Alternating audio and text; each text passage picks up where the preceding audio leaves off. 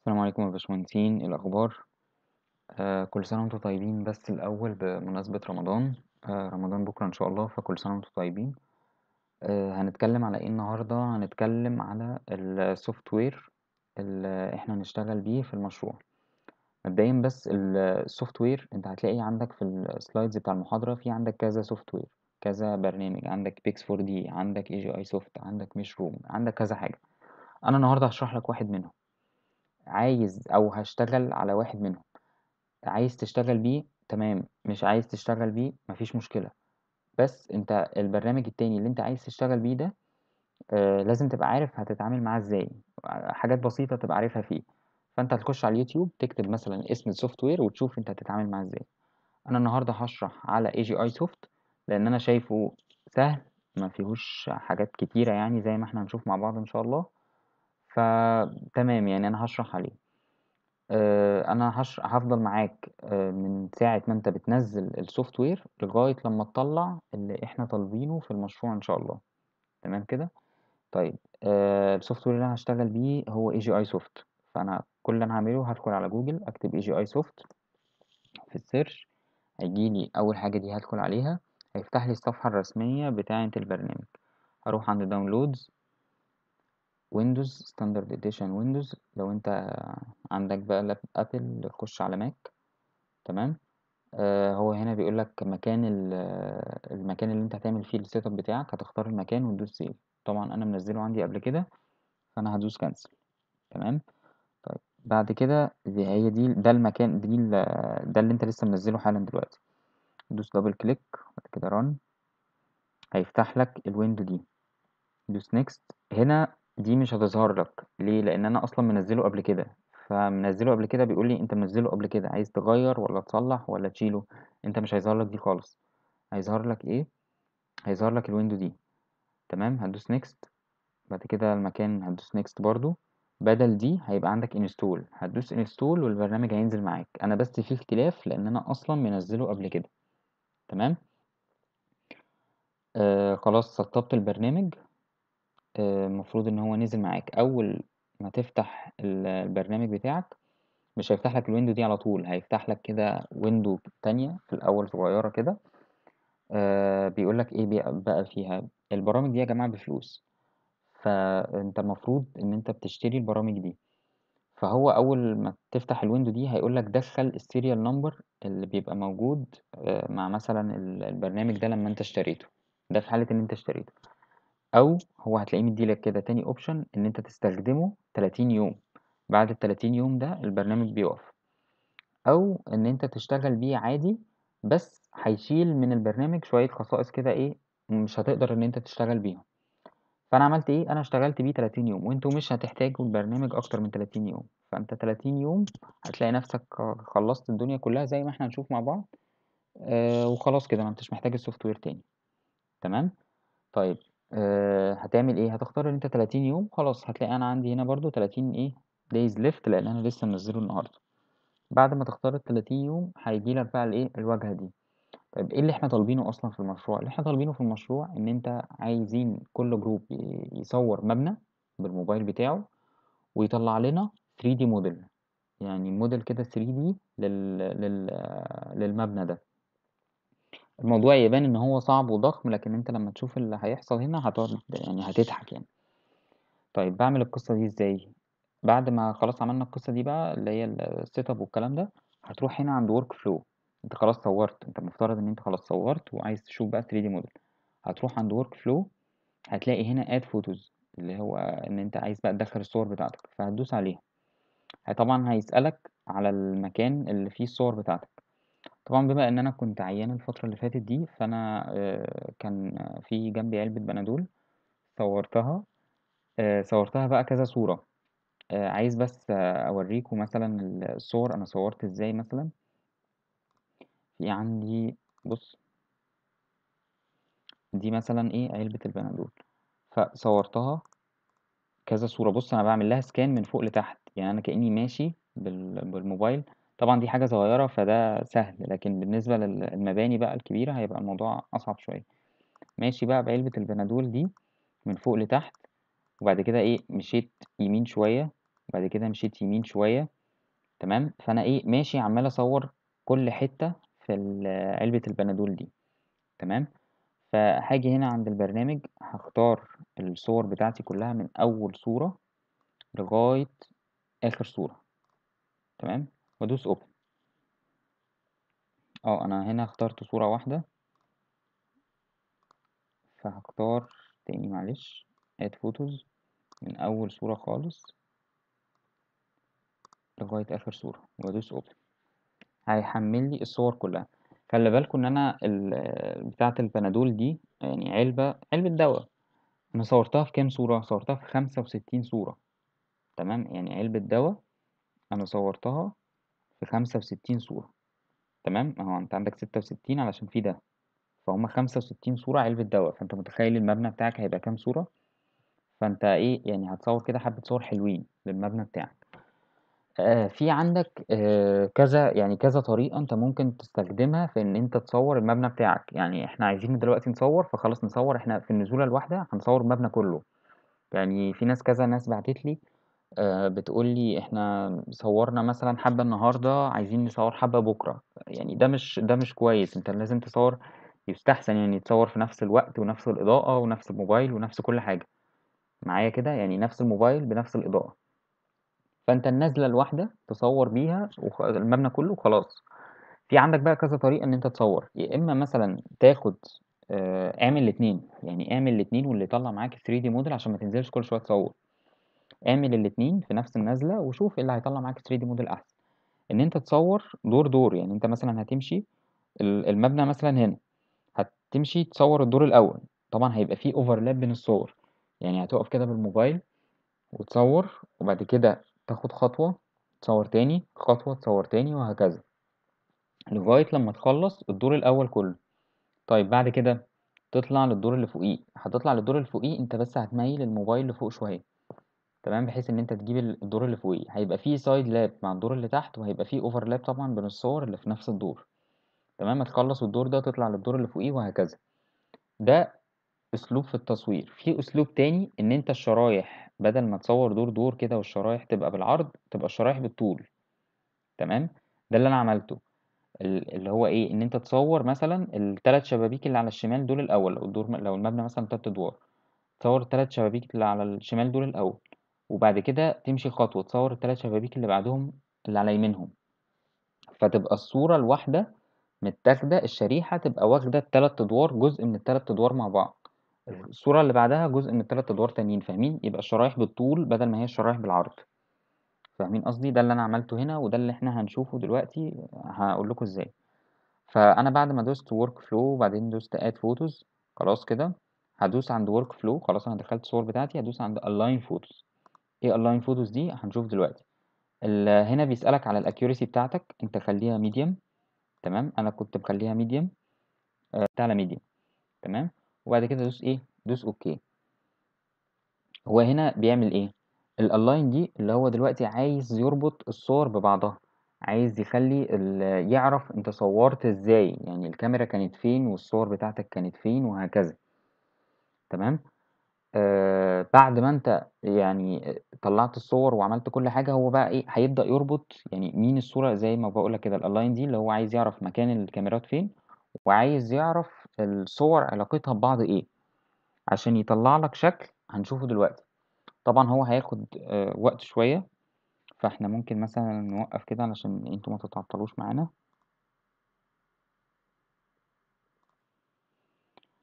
طيب آه دلوقتي خلاص هو طبعا هو خد حبة كده خد بتاع خمس دقايق ولا حاجة.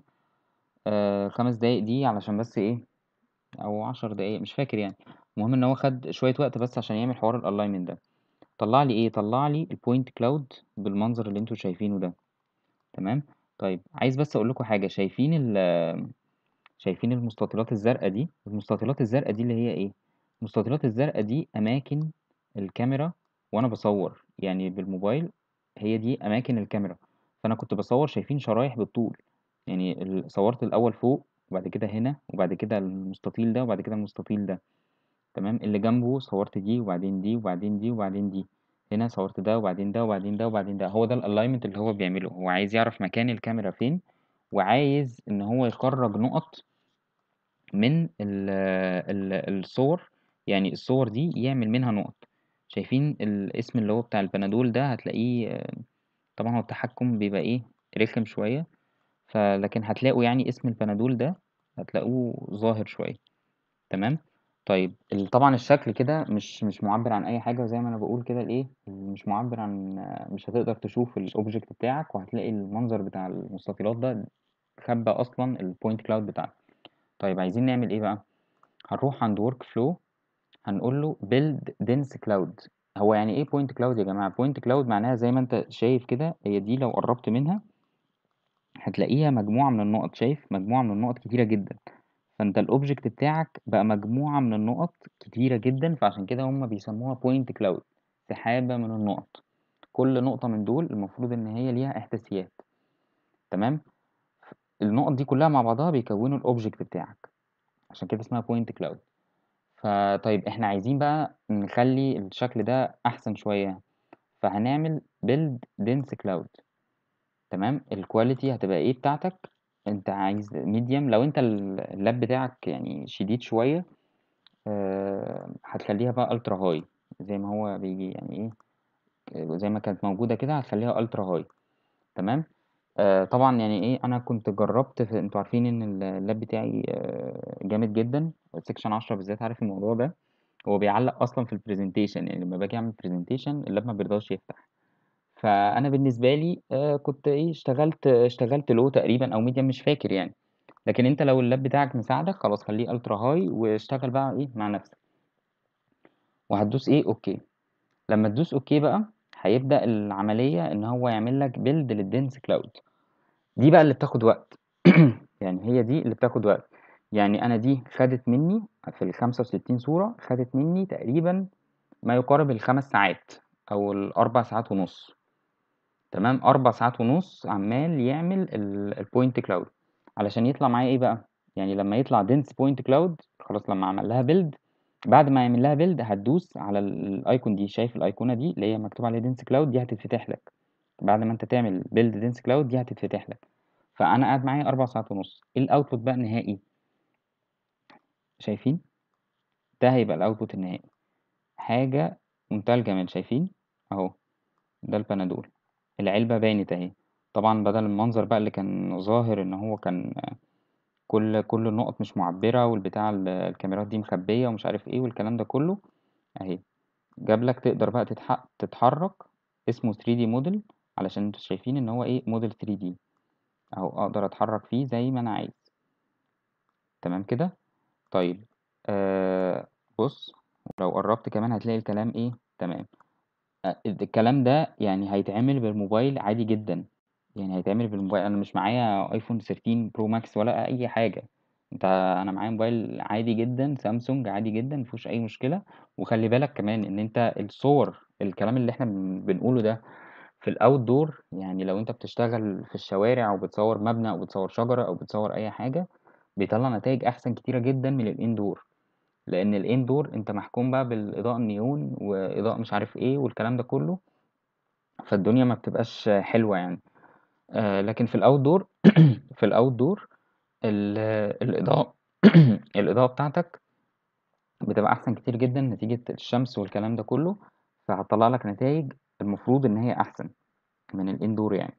طيب في طبعًا هنا فريمات، يعني شايفين هنا هتلاقوا في شوية نقط كده ضاربة طايرة كده، يا عم طلّعها لي مش مهم أنا قابلها، وطبعًا ال البتاع اللي هو كانت عليها علبة الدوا دي باينة برضه مش مش كويسة، برضه ما فيش مشكلة قشطة يعني، أنت بس طلّع الموديل كده، طبعًا دي علبة دوا، فالموضوع أنا ب يعني أنا باقول لك 65 صورة خدوا معايا 4 ساعات ونُص، فهو هي دي بقى المشكلة، هو ده اللي بياخد وقت، فأنت بدل ما تصوّر مثلًا وتدخّل الصور، يعني تصوّر مثلًا بأسلوب أو تصوّر آه، المبنى آه، في نزلة وبعدين ترجع تجرّب على الsoftware خلّي بالك إن أنت ممكن يعني الlimit اللي الدكتور حاطّه اللي هي ال100 صورة، هو الدكتور حاطّه علشان الحتّة دي، إن أنت لو زوّدت عن 100 الموضوع هياخد وقت معاك كتير، فعايز تزوّد عن 100 تمام، بس يعني الموضوع هياخد شوية وقت.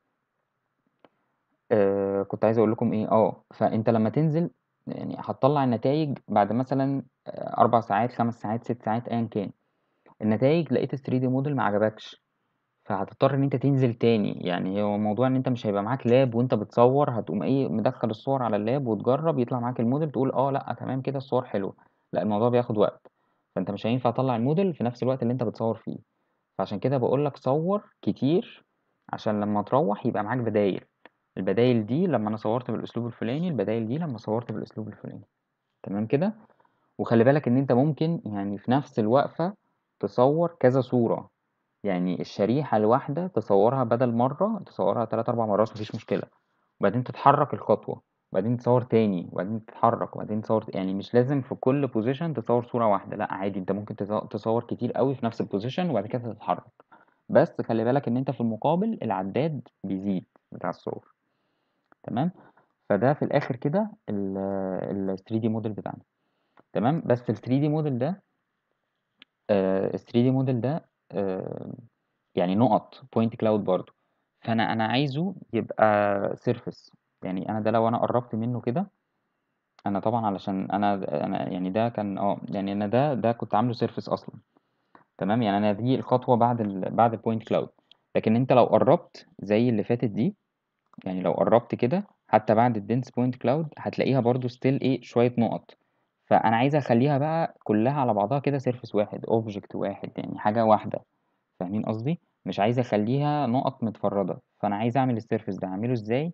ال surface ده حاجة اسمها mesh فهتقوم رايح عند ال workflow هتقوم قايل build mesh ال build mesh دي هي هتاخد يسألك بقى أنت عايز ال source بتاعتك إيه والكلام ده أنت هتسيب كل حاجة زي ما هي وتدوس OK تمام؟ ده بياخد وقت برضه بس مش زي طبعا ال- إن هو بيعمل build لل dense cloud بياخد وقت. تمام؟ آه اللي هيجي لك بقى هنا هنا حاجة اللي هي ال 3D. دي هتبان عندك بعد ما أنت تعمل ال mesh دي بعد ما تعمل ال surface تمام؟ طيب آه خلاص أنا كده خلصت. خلي بالكوا أنا كده خلاص خلصت. هو ده ال output اللي مطلوب منك. أنتوا شايفين إحنا عملنا إيه؟ إحنا دوسنا أول حاجة workflow add photos وبعد كده align photos وبعد كده build dense cloud وبعد كده build mesh خلاص خلصنا. هو ده ال project الفظيع ال- اللي واخد دوشة. تمام؟ هنقوم خلاص إحنا كده خلصنا. عايزين بقى نعمل save لل... لل surface بتاعنا ده. فنروح رايحين هنا عند file export export model export model دي مش هتتفتح لك غير لو انت عملت ال mesh غير لو انت عملت الشكل 3D مش هتتفتح لك. يعني انت لو عامل dense point cloud هتلاقي دي مقفولة زي اللي تحتها كده. لما تعمل ال mesh هتلاقي دي اتفتحت لك. هتقوم دايس مثلا export model وتختار ال format اللي انت عايزه. عايز تس... إحنا اختار يا إما object يا إما PLY يا دي يا دي. تمام؟ مفيش مشكلة. عايز تختار أي واحدة؟ مفيش مشكلة. اختار أي واحدة عشان كده تعمل save لل model بتاعك. تمام؟ كده إحنا خلصنا المشروع اللي مطلوب مننا.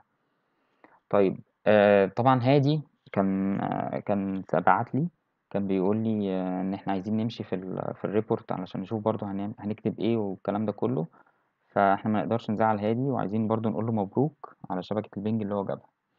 ماشي هادي؟ اديني صيادتك آه الدكتور منزل template على ال على ال Blackboard template لل report اللي أنت المفروض تصوره template يعني حاجة فاضية كده أنت المفروض إن أنت هتملاها بقى. آه و template لل presentation تمام؟ خلينا نمشي في ال report لأن ال report هو اللي إيه مليان شوية. هتروح هنا هتلاقي العنوان بتاع اسم المادة وبعد كده اسم ال project هنا هتحط اسم ال group وهنا هتحط إيه ال section بتاعك. وهنا هتحط أسماء الناس اللي في ال team طبعا ما يزيدوش عن خمسة وال ID بتاعهم أو ال bench number بتاعهم. تمام؟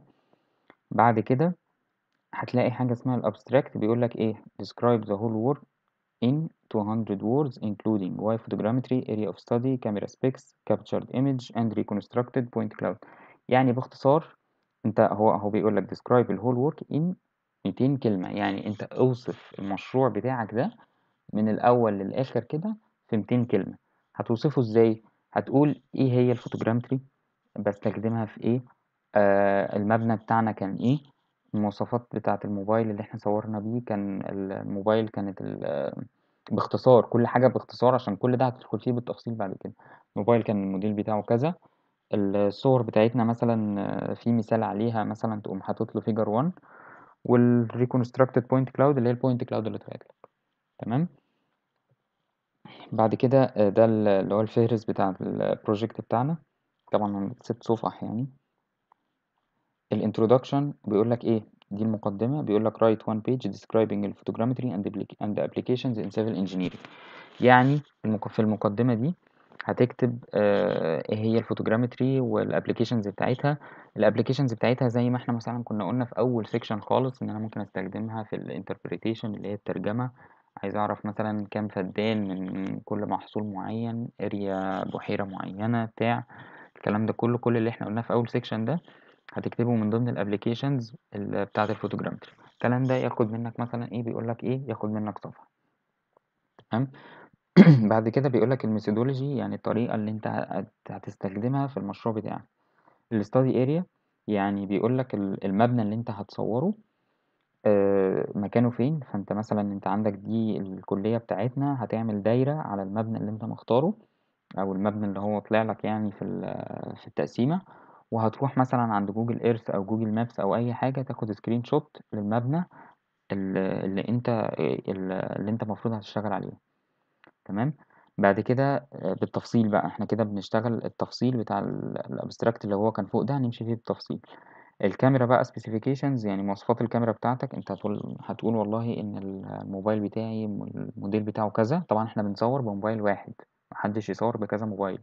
عايز تجرب بكذا موبايل يبقى كذا موبايل دول تاخد بيهم المبنى كله يعني الموبايل الواحد يتاخد بيه المبنى كله لكن ما مش موبايل يكمل على شغل التاني لأ مفيش حاجة اسمها كده تمام فأنت. هتقول هنا خلاص. أنت رسيت إن أنت هتستخدم الموبايل ده هتقول الموديل بتاعه وال resolution بتاعة الكاميرا وال focal length ال focal length ده هتعرفه برضو عادي من مواصفات الكاميرا بتاعة الموبايل عادي أنت لو دخلت شفت مواصفات الموبايل بتاعك هتلاقي موجود فيها ال focal length تمام طيب ال software آه هنا ال software ده اللي هو بيقول لك ال software اللي انت تستخدمه سواء Agisoft سواء Meshroom سواء أي حاجة وال tools اللي انت استخدمتها في ال software طبعا إحنا شفنا ال tools الفظيعة اللي إحنا استخدمناها هم كانوا اتنين ولا تلاتة باين فهتاخد screenshot لل tools دي وتقول كل واحدة بتعمل إيه. تمام؟ دخلنا بعد كده على طول في ال results وال discussion ال camera ال camera calibration اللي هو لو أنتوا فاكرين ال calibration دي اللي هو اللي أنا كنت بقول لكم إن هو بيعرف مكان الاكس نوت والواي نوت والفوكال لينس الفوكال لينس كده كده بيبقى موجود في ال camera specification طيب ال x nought وال y nought اللي هي ال calibration يعني ال interior orientation دي هتبقى محتاج إن أنت تعمل search بسيط كده على على جوجل تعرف ال interior orientation ده بيتعمل إزاي. وتكتب كلمتين على ال interior orientation هتلاقيهم بيصوروا كذا كذا يعني كذا مجموعة صور كده آه، يعني عملية كده يعني هم بيصوروا كذا مجموعة صور علشان يعرفوا ال x nought وال y nought. فأنت زي ما أنا بقول لك كده يعني إحنا ممكن نتكلم في القصة دي في ال section يعني حتة ال camera calibration دي هنعملها إزاي؟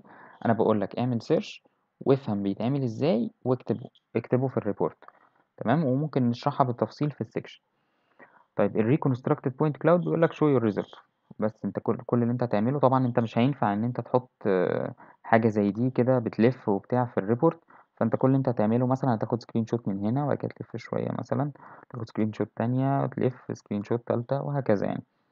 فإيه ال- ال report عدد الصفح بتاعه عادي يعني هيزيد عن ستة مفيش مشكلة. آه، نتيجة ال screenshots تمام؟ طبعا هيبقى مترقم. يعني أنت مثلا هو هنا دي صفحة رقم اتنين صفحة رقم تلاتة متطابق مع الفهرس اللي أنت عملته ده. يعني أنت بعد ما تعمل ال report تظبط الفهرس بتاعك ده.